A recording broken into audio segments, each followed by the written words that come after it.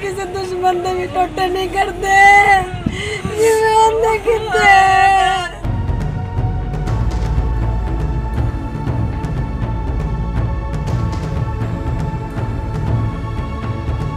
ਕੋਈ ਲੜਾਈ ਵੀ ਨਹੀਂ ਸੀ। ਆ ਕਰੋ ਰਾਜੀ ਖੁਸ਼ੀ, ਫੋਨ ਤੇ ਗੱਲ ਕਰਦਾ ਕਰਦਾ ਗਿਆ, ਕਿਸੇ ਨੇ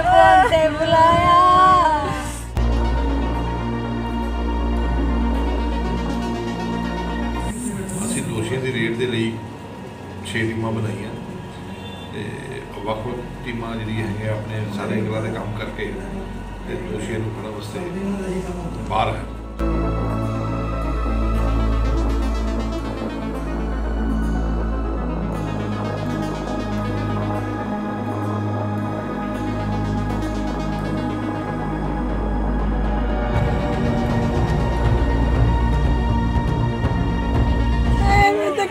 ਕਿਸੇ ਦੁਸ਼ਮਣ ਦੇ ਵੀ ਟੋਟੇ ਨਹੀਂ ਕਰਦੇ। ਜਿਵੇਂ ਉਹਨੇ ਕੀਤੇ। ਕੋਈ ਲੜਾਈ ਵੀ ਨਹੀਂ ਟੋਟੇ ਕਰਦੇ ਕੋਈ ਲੜਾਈ ਵੀ ਨਹੀਂ ਸੀ।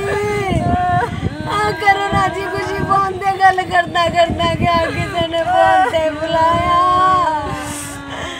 ਆ ਸੁਨੀਲ ਕੁਮਾਰ ਦਾ ਸੀ। ਠੀਕ ਹੈ। ਉਸ ਦੇ ਵਿੱਚ ਅਸੀਂ ਦੀਪੂ ਉਹਦਾ ਭਾਈ ਦਰਮੋਟਾ ਉਹਦਾ ਫਾਦਰ ਨਿਹੰਗ ਅਤੇ ਤਿੰਨ ਚਾਰ ਹੋਰ ਅਣਪਛਾਤੇ ਵਿਅਕਤੀ ਦੇ ਖਿਲਾਫ ਧਾਰਾ 302 ਦੇ ਤਹਿਤ ਸਿਟੀ 2 ਅਬੋਰ ਵਿਖੇ ਮੁਕੱਦਮਾ ਦਰਜ ਰਜਿਸਟਰ ਕੀਤਾ।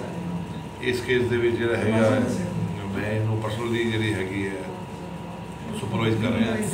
ਅਸੀਂ ਦੋਸ਼ੀਆਂ ਦੀ ਰੇਡ ਦੇ ਲਈ 6 ਟੀਮਾਂ ਬਣਾਈਆਂ ਤੇ ਵੱਖ ਵੱਖ ਟੀਮਾਂ ਜਿਹੜੀਆਂ ਹੈਗੀਆਂ ਆਪਣੇ ਸਾਰੇ ਐਂਗਲਾਂ ਦੇ ਕੰਮ ਕਰਕੇ ਤੇ ਦੋਸ਼ੀਆਂ ਨੂੰ ਫੜਨ ਵਾਸਤੇ ਬਾਹਰ ਹੈ।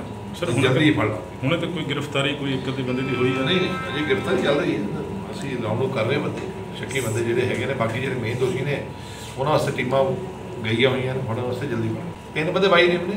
ਤਿੰਨ। ਠੀਕ ਹੈ ਤਿੰਨ ਥੈਂਕ ਬੰਦੇ ਯੂ ਬਾਈ ਨੇ ਆਪਣੇ ਤਿੰਨਾਂ ਵਾਸਤੇ ਸਾਡੀ ਟੀਮ ਜਿਹੜੀ ਹੈਗੀ ਗਈਆਂ ਹੋਈਆਂ ਨੇ ਜਲਦੀ ਫੜ ਲਾ। ਜੀ।